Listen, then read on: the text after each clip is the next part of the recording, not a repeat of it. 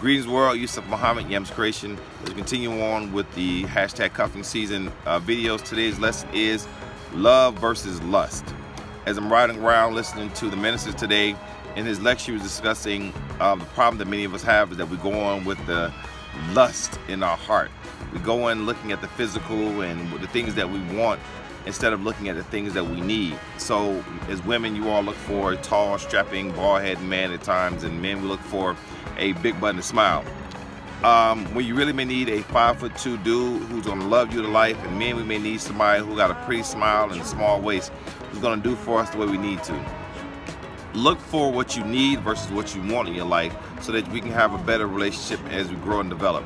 I know it's cuffing season and we're looking for that warm body, but if you want to have to look for a warm body every year, start looking for the things that you need, which is love versus lust. And I pray day's going well. You Yusuf Muhammad, it's getting cold. Peace.